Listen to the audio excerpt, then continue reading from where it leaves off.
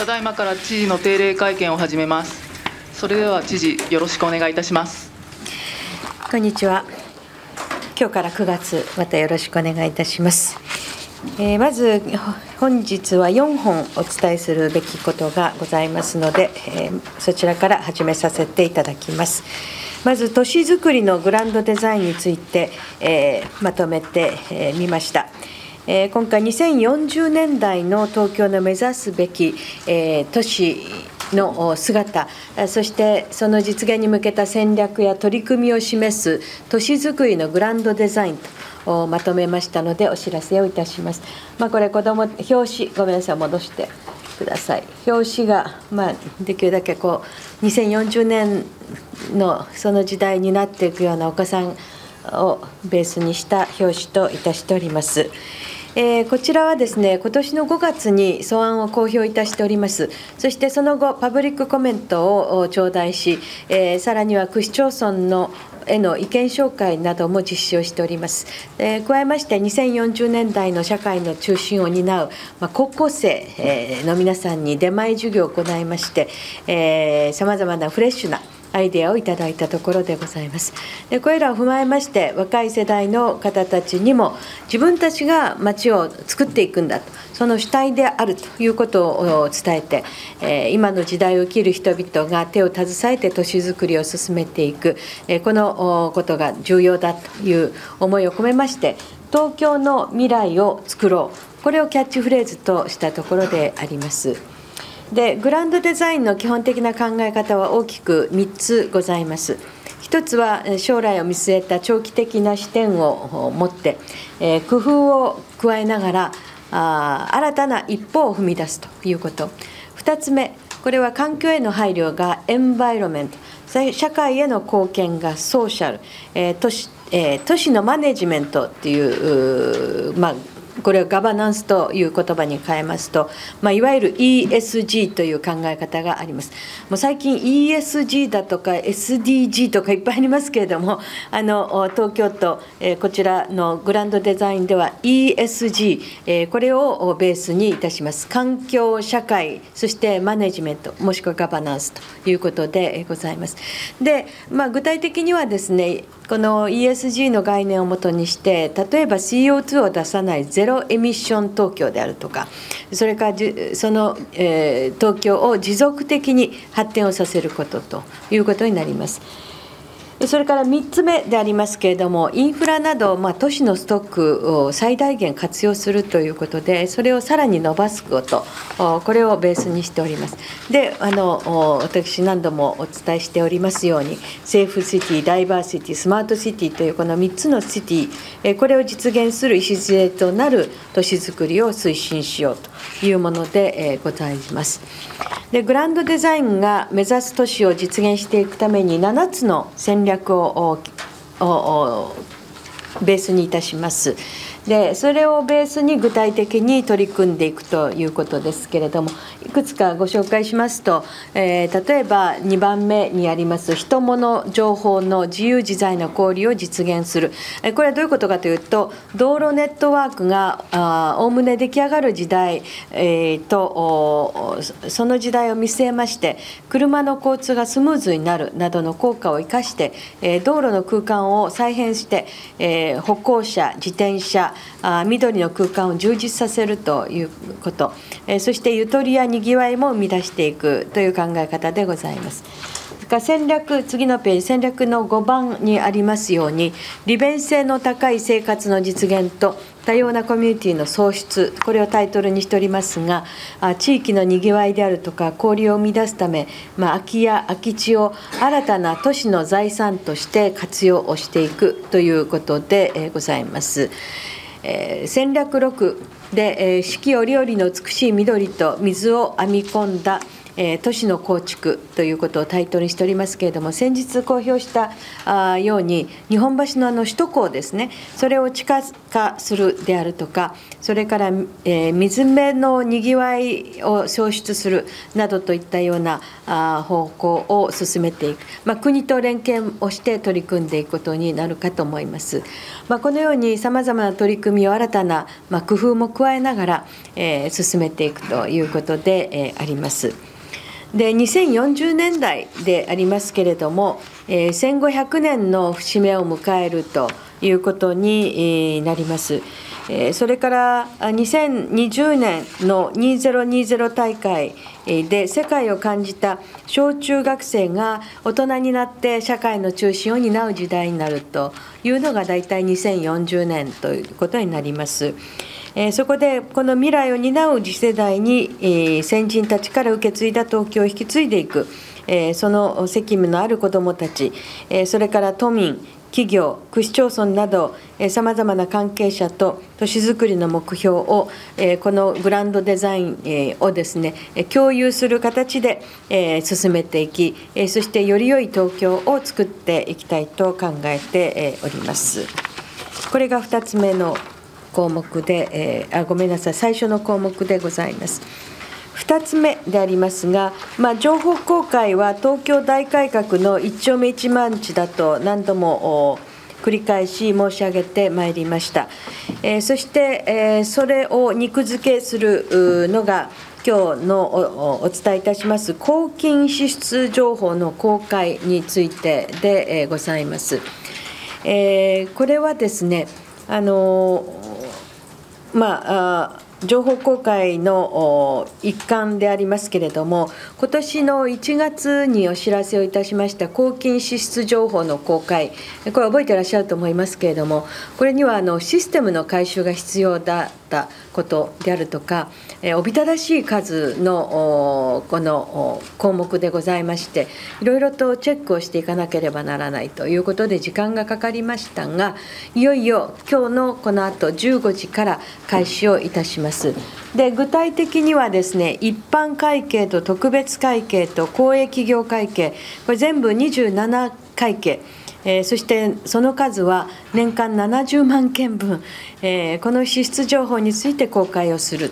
というもので、えー、ございます。えー、都の情報公開ポータルの方に公開ページへのリンクを設置をいたしましてそれぞれの会計を所管する局のホームページで公開をすることとなります。でこちらのディスプレイちょっと見にくいかもしれませんけれども、えー、会計管理局の支出情報がずっと、まあ、表示されておりますけれども課ごとにですね支払い日であるとか支出の科目、えー、支払い内容支払額、まあ、こういった情報をですね1件ごとに公開をすることとなります。でこの公開する情報はご覧のように Excel ファイルで検索そして集計がしやすくなっております。えこれは今後毎月下旬に更新をしそして追加をしていくことになります。でこれによって都民の皆様方からお預かりした税金がどのように生かされているかということを容易にご覧いただけるようになるわけでございましてまたそれは職員の意識向上のが図られるであるとかワイズスペンディングにも資することになるとこのように考えております。まあ、作業は大変膨大なものがございましたけれども、職員もですねしっかり頑張って、えー、これを仕上げてくれました。えー、ぜひ、この情報公開をしっかり続けることによって、透明性の確保を進めていきたいと思います。それからまあ70万件を公開するにあたって、その個人情報部分っていうのもございましてそこにそれについてはあのしっかりと守っていくとですから、まあ、その分大変手間もかかったわけで、えー、ございます。えー、ということであの7月分からの公開で月末に更新ということになります。まあ、これ、他の都とあの府県、市と比べましても、東京都の場合はですね、とにかく件数が多いと。いうことで、えー、ございます。えー、それをどっと、まあ、公開させていただくということで、大きな転換点かと思います。まあ、ちなみにあの情報公開でいろいろと情報開示のご要請をいただいておりますが、まあ、中にはですね30万件分出せとかですね あのちょっとそれそれにかかるあの、まあ、時間エネルギーその他あの出すべきものは出してまいりますけれども時にはですねその作業だけで何年もかかるというようなこともございますのでその辺は吟味させていただくということを一言申し添えておきたいと存じます。それから3つ目です。えー、江戸キロリ江戸東京キラリプロジェクトのモデル事業が決まりました。え江戸東京の伝統ある技そして老舗の産品の磨き上げと発信で、え世界に羽ばたく、え東京ブランドの確立を目指すということで6月にモデル事業の公募を行いました、えそうしますと衣食住の各分野の事業者の皆さんから24、え事業の応募がございました。でそれぞれ事業提案について、え例えば技産品それぞれの独自性であるとか優位性など、えー、こういった視点から外部の有識者に審査いただいて、えー、本当に素晴らしいものばっかりだったんですが今年の分としてモデル事業としてふさわしい5つの事業を選定をいたしております。衣食住の E の部分でありますけれども、江戸古門の染めの技術でストールなどの新しいマーケットの開拓を目指す、えー、広瀬線工場という会社、有限会社であります。それから組紐の技術をボールペンであるとかブレスネットなど新たな用途開発に挑戦をする株式会社流工房それから3つ目が食の分野で、江戸前料理と江戸東京野菜の魅力にの発信に取り組んでおられます、これは組織でありますけれども、NPO 法人日本料理アカデミー東京運営委員会の皆様、それから銃の分野では、職人の謝礼おしゃれ心であるとか遊び心を取り入れて新たな視点から刃物の刃物刃物ですね。の制作に取り組む産毛やえそれからさらに衣食住の組み合わせにおきましては江戸切子の独自の模様をですね。文様を考案して、まあ、現代的なグラスを作ったり飴、え手ぬぐいなど、え多分野のへの展開にも取り組んでこられてている株式会社江戸切子の店花商、えー、まあ、この5つをご紹介、ピックアップさせていただきましたで今後各分野の専門家がさらにデザインであるとかブランディング面など、モデル事業の磨き上げを行ってまいりまして、その具体的な支援については9月11日に開催いたします第4回の東京江戸東京きらり推進プロジェクトで議論をいたします。また11月にはプロジェクト発信イベントを開催してこうした取り組みを通して東京の宝物を国内外に発信をしてまいりたいと考えております。ちょっとあの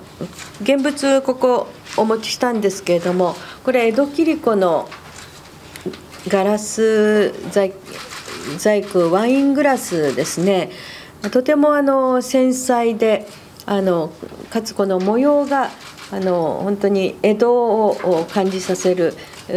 こういったグラスであるとか同じく江戸の模様文様を使いましてこういうこのいくつかを組み合わせたお扇子であるとかですね。これ組紐の技術を使ってあの、えー、カメラのホルダーにするとかですね、えー、こういった形で、えー、江戸のこの匠の技をそれぞれ現代に生かせるそのようなものを今回は選び出しております。まあ、あの今日本にインバウンドで来られるお客様などもですねいろんな情報をもご存知で来られてそのピンポイントで目指してこられますけれどもその情報にちゃんと引っかかるようにですねちゃんとこちらからも発信をしていくということが大が重要かと思っておりますが今回こうやって5つの、えー、産品、うん、などを、えー、ピックアップさせていただいたということでございます。それから無電柱化についてのお知らせで PR の動画を作りました。えーと、無電柱化推進条例ということがいよいよ9月1日、えー、施行ということで、えー、ですよね。はい、とそれを機に、え、皆さんにお知らせをするということで、え、ございます。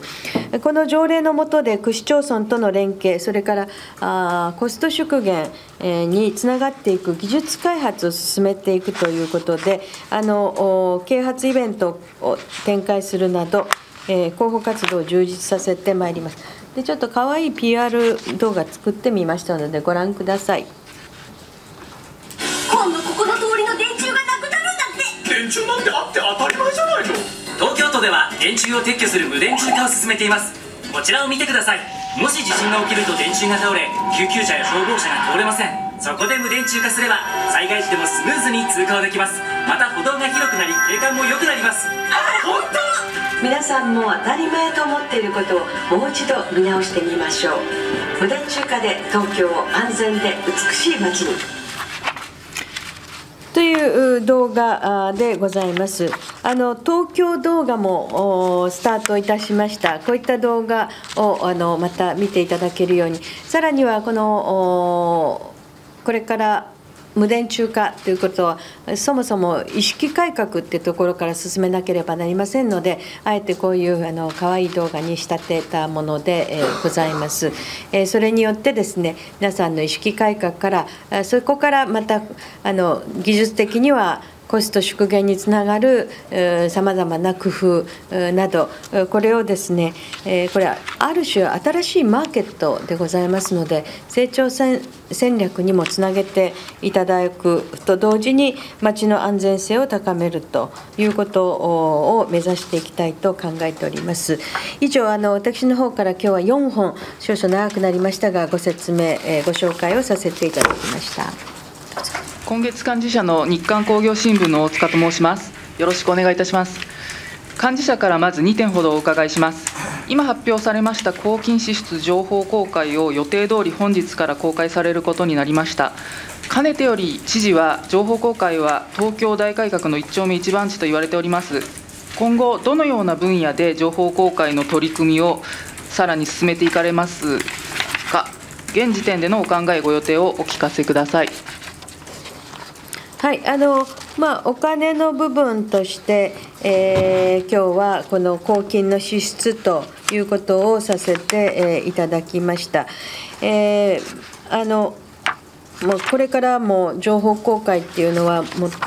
これをベースにしながらあの考えていくということでございまして、えー、それぞれの局それぞれ、えー、取り組んでいる事業等々も含めてですね、まあ、先ほど申し上げたようにあの公開にそぐわないものそぐわないっていうかなあのそれによって、えーえー、例えば入札などに視察支障が出るようなことがあってはいけませんのでそういったことについては、えー、お伝えはできかねる、えー、が原則公開ということは貫いていきたいと考えております。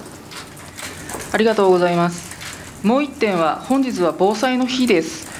えーと、知事知事も今朝あの調布市との総合防災訓練に参加されました。お疲れ様でした、えー、今回の想定は多摩地域を震源地とした訓練でした。地震のみならず都内では局所的な集中豪雨や現在は小笠原諸島に台風15号が接近していますまた先日北朝鮮からミサイルが発射され日本上空を飛んでいくなど防災という観点からはあらゆる事案を想定しなくてはならない状況にあります今回の防災総合防災訓練のご感想とあと都民、国民を守るための知事の思いについて、改めてお聞かせください。はい、あの本日、防災の日ということで、えー、まずは自宅から都庁へ、えー、この自らが本部長としてですね指揮を取るために、えー、私自身がまずここに、え、存在をするということは極めて重要ということから我が家からあのまず東京都バスの交通局のですね、えー、このバス停バス止まりがありましてそこまであのまず自分の足で歩いていくということそこからあと初めてパトカーに乗りました。はい、あの真ん中には座っておりません。はい えー、そして、えー、そこから今度はヘリで移動してえー、そして代々木の公園のところに到着してまたあその後車で、えー、都庁へということで初めてこういうパターンで、えー、都庁へ、えー、まあ、たどり着いたということであります。場合によっては天候によってはそのヘリはないということでいろんなケースがあると思いますから、まあ、あの最悪は私前から申し上げているように電動アシスト自転車で自分で走ってこようと思ってますけれども、まあ、いろんな想定をしながら今日はあの対策を実体験をいたしました。あの防災というのはあそれが災いがですね自然災害であれ、えー、人災であれ、えー、結局混乱をするということについてはあ同じことが考えられます、えー、いろんな想定をしながらあのこういった時は誰が何を担当するっていうのを日頃確認しておくっていうのは極めて重要なことであり、えー、そもそも本部長である私が都民の皆さんさんの命と財産をお守りするその第一の役あの役目を担っているということを改めて自覚するということで大変重要な一日であったかとこのように思っております。まあ、特に最近はあの、えー、北朝鮮問題がですねいつ何時何をするのか読めないということもございます。えー、もちろん地震につきましても同じようなことでございます。えー、備えを常にというのが私のモットーでもございますので都民の皆様方にもご協力を得てですね、えー、備えをつ備えている東京ということを目指していきたいと思っております。ありがとうございました。幹事社の質問は以上です。質問のある方は挙手をして、知事に指名された方は所属と氏名を名乗った上で質問をしてください。よろしくお願いします。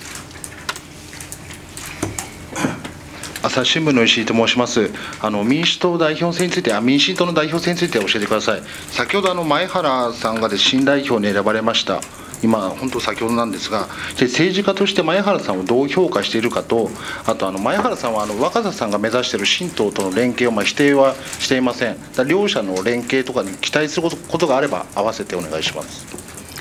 あのまずは前原誠司さんが民民進党の新しい代表に選ばれたというニュース、えー、今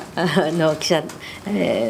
の方から、えー、お知らせいただくと同時にメモが飛んできたところでございます。まずはおめでとうございますとお伝えを申し上げたいと思います。えー、そしてこれまでの前原さんのですね代表の新代表のさまざまな、まあ、外務大臣もなさいましたし、これまでいろんな役職として、えー、この最初の93年の、えー、当選から行動を一部共にしてきたわけでございます。えー、ぜひ新しい代表としてですね、えー、しっかりと民進党を引っ張っていただきたいと存じます。そしてこれまでのこれらの経験を生かしてですね、えー、そして民進党としての新しい政策立案はもとよりその実行、えー、そしてまた今、野党でいらっしゃいますので、野党の役割というのをしっかりと果たされるということを期待をいたしております。えーまあ、これからどういう形で進まれるのか、今後、どんな人事になるのかなどなどもあの注視もしていきたいと思っております。まずはあのまあ、93年、えー、に日本新党としてスタートした同志として、えー、まずは日本のために頑張ってくださいということを申し上げたいと思います。あの若狭さんとの連携についても前原氏は否定しなくて、前枝野さんは反対したんですが、まあ、そういう前原さんがまあ代表になられることで、若狭さんとの連携というのはまあ今後あるのかなと思うんですが、そこに対しての期待はいかがですか？そうですねあの政策的にあのこれからどのような形で、えー、目指していかれるのかどうかあのよくこの代表選中おっしゃっていたことなどまだ私はよく整理はできてないんですがそういった手をつなげるところは国会の場で、えー、連携していかれればいいのではないかと思っています。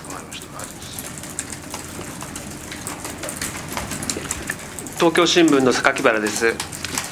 あの関東大震災の朝鮮人犠牲者の追悼式への追悼文送付を取りやめたことについてお伺いします。あのその追悼式と同じこ同じ公演内で開かれている都慰霊協会主催の大法要での知事の追悼文では、まあ、今回朝鮮人虐殺への直接的な言及はありませんでした。まあ、朝鮮人犠牲者追悼式への追悼文をやめられたのでその大法要の方で何らかの言及もあるのかなというふうに私は思っていたんですが、まあ、言及されなかった理由を教えていただけますか？あともう一問あるんですがまたネット上などでは、まあ、朝鮮人虐殺は正当防衛だったとの説も飛び交っていますが知事の今回の対応は結果的にその説を勢いづかせることにもなりかねないと思います。その、えー、追悼文の取りやめの波紋が広がっていて、まあ、負のメッセージを与えているとの指摘も出ています、そのことについて、えー、どう思われますか、この2点をお願いいたします。後者のご質問につきましては、それぞれの受け止め方でございますので、えー、それによって、えー、どういうこの受け、まあ、反応になっているのかはそれぞれだというふうに思っております。えそしてこの今回、え今日はですね、え秋季の慰霊大法要ということで、副知事が代理で出席をいたしておりまして、その大法要の追悼文で、私は知事として、関東大震災で犠牲となられたすべての方々へ、哀悼の意を表させていただいたところでございます。それがすべてでございます。はい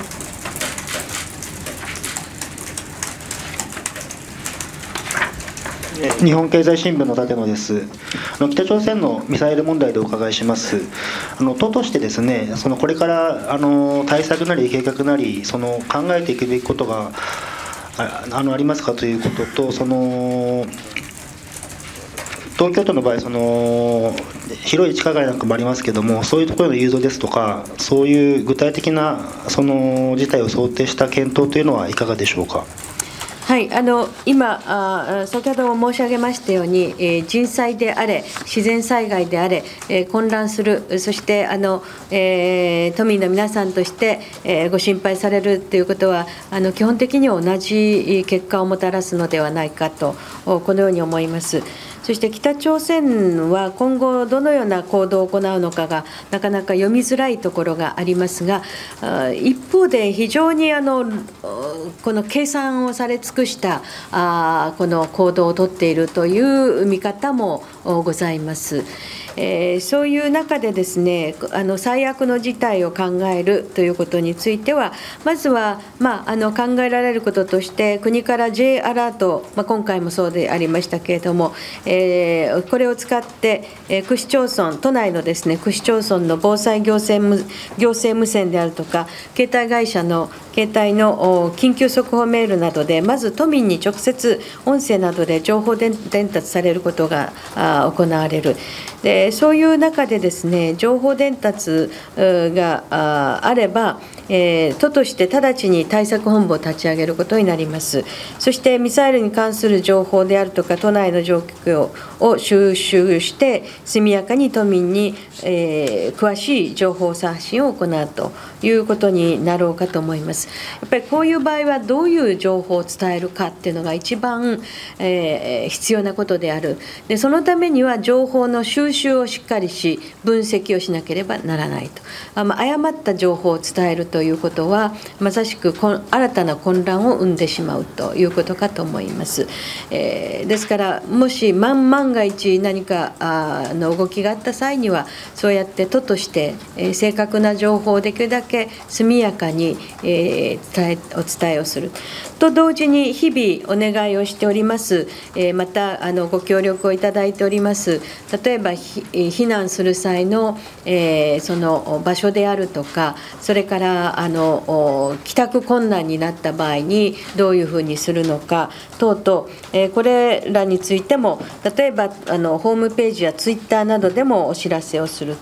ということでございます。それから例の黄色いあの東京防災というブックレットがございます。が、あそこにもですね実は弾道ミサイルが飛来した場合の対応についても掲載をしておりますので、改めてご確認をいただければと、このように思います。えーまあ、関東大震災9月1日ということで、防災の日となっておりますけれども、これはあの翻って、えーあらゆる災害に対しての備え、えーその心準備と、えー体を慣らす。担当者を決めるといったようなことにつながっておりますので、こういったことがあのプラスにつながっていくのではないかというふうに思っております。何よりも北朝鮮の度重なる暴挙についてはですね、あの今回も都議会で決議も出していただきました。そしてまた今外交努力なども行われているところでございます。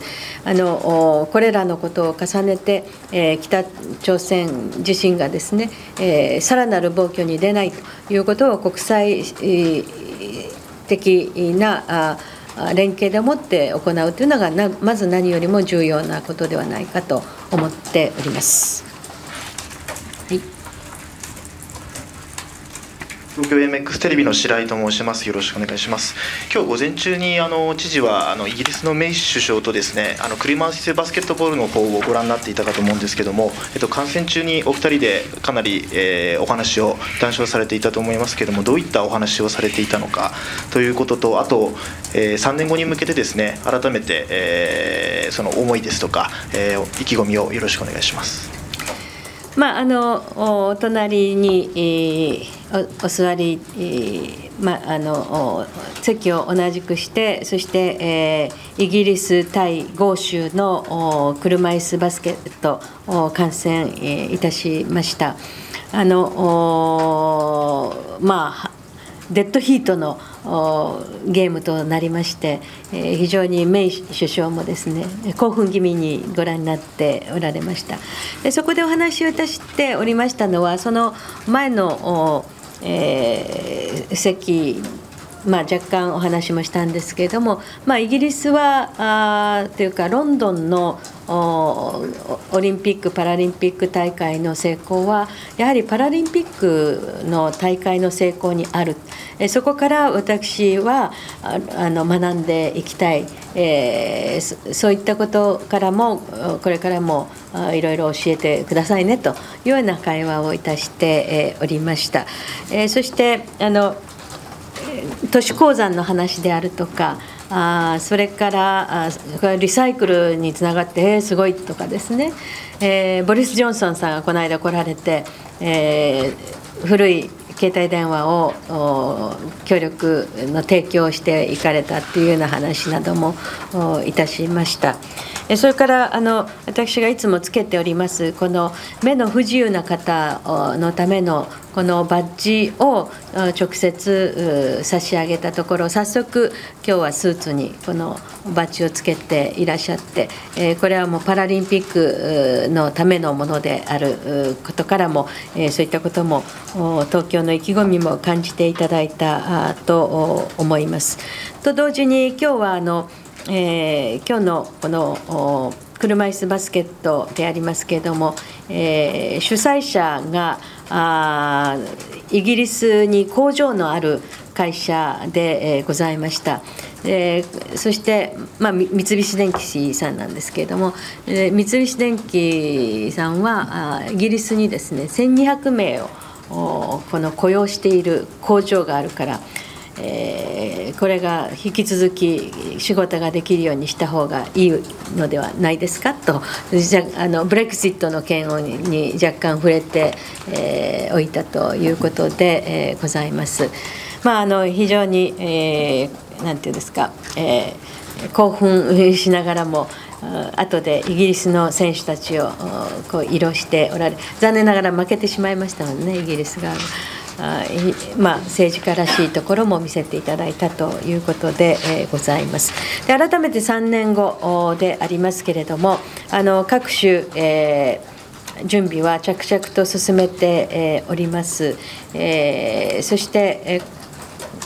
3年後、えー、むしろ今一番心配なのは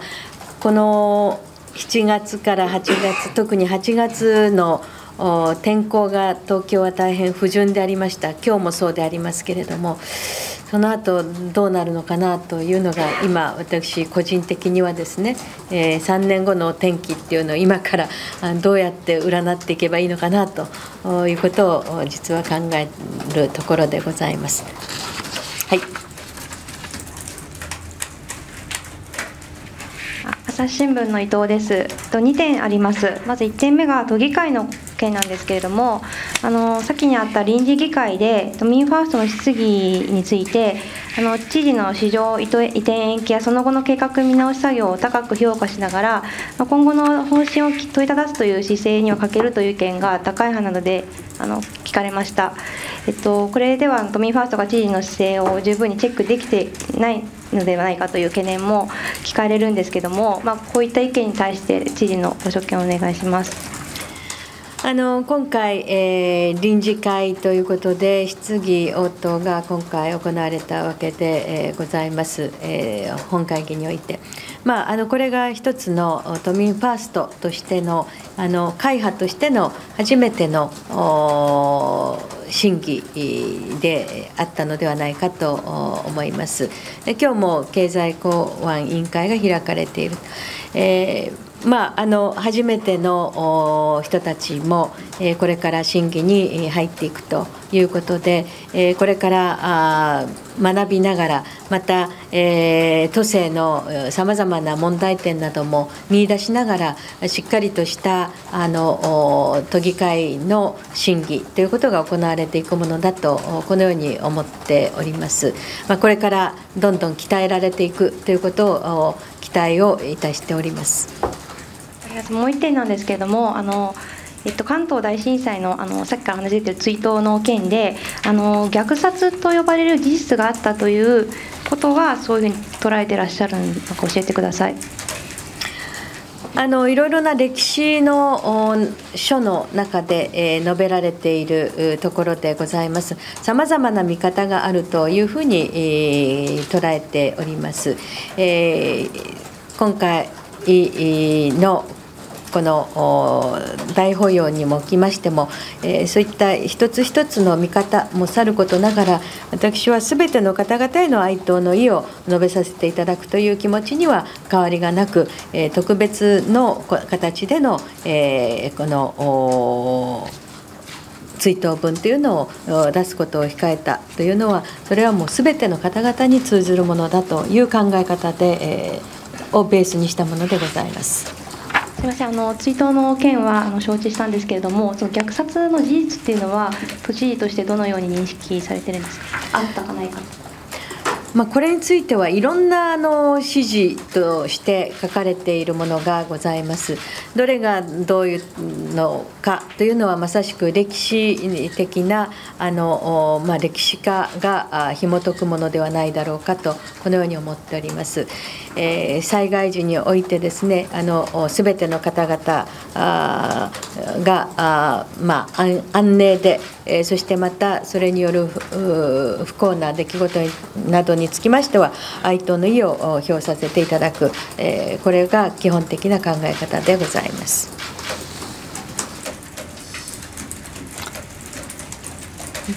はい、読売新聞の読売新聞の田中と申します。豊洲市場の関連でお伺いします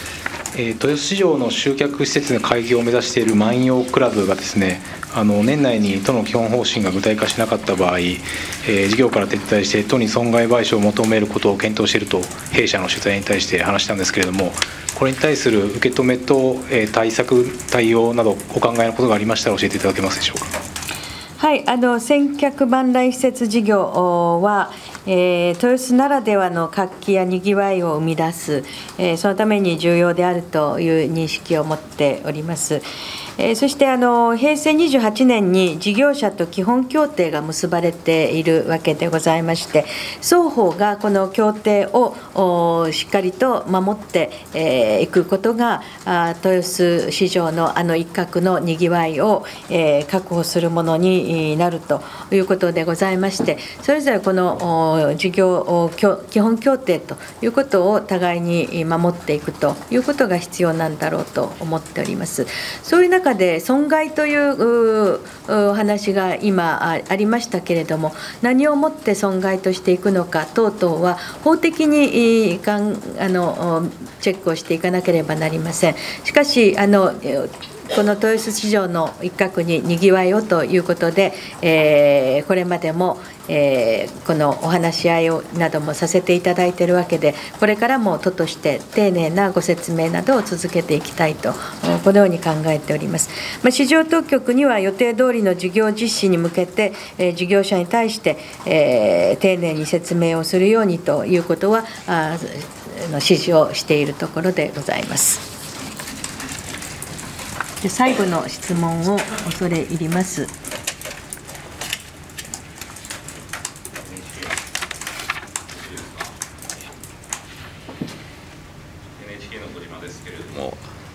ないです。はい。あ、NHK の小島です。あのちょっと市場の移転の関連でですね、えー、築地市場協会の伊藤会長が NHK のインタビューに対して、えー、移転の時期について来年、まあ、9月から10月で調整したいと。でそのためには、えー、今月中にもあの、まあ、協議を、まあ、本格化させたいという意向をあの示したんですけれどもあのこの移転についての業界との調整について、まあ、どういうタイミングで行っていくのか、まあ、補正の審議もあるんでしょうけれども、まあ、日程感とあのこの業界トップの意向についてどのようにお考えなのかお願いします。はいあの市場関係の方々との連携というのは極めて重要でございます。えそしてこのご理解を深めていただくためにも、え市場当局も伺わせていただいて、そして私自身もあの何度か足を運び、基本的な考え方などについてもお伝えをしたところでございます。えーこれからの協議、まあ、あの先ほどの伊藤会長のお話などを考えますと、えこれから今、ご審議いただいている補正予算、それからそれを決めていただいた後に追加工事が行われていく、それらを考えていきますと、まあ、あの早くて6月かというふうにも言われているわけでございます。あのもう少し工事が早くなるかなと私は、まあ、素人として考えたわけでありますけれどもこの建物の構造耐震化の計算が変わってこないためにいろいろとこのコンクリートを流し込むという中においてもそういった作業でも非常にあの細かい作業が必要だということで大体その時期になると聞いております。それらのことを考えるとあの関係業界の皆さんがおっしゃっておられるようなスケジュールが可能になるように、え引っ越しであるとか習熟の期間であるとかあそしてまたあの市場からいろいろとご要望も出ておりますのでそれなどもあの、まあ、同時並行で進めていくことになろうかと思いますけれどもそういったあの具体的な日程などをこれからあの詰めさせていただければと思っております。え市場のご協力をいただくことによって、え早期の豊洲移転が確実になるということを期待をしているところであり、え東京都といたしましても、え市場の関係者の皆様方には、真摯に、また丁寧にご説明を重ねていきたいと、このように考えております。ありがとうございました。